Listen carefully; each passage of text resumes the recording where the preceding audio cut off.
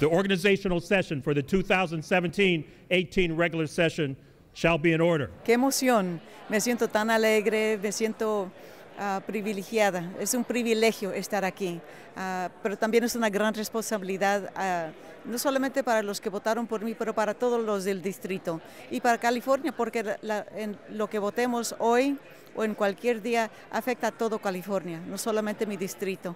Quiero oírlos, quiero escucharlos para saber cuáles son sus eh, los problemas que tienen en la comunidad, para entonces hacer lo necesario para tratar de ayudar, llegar a resoluciones.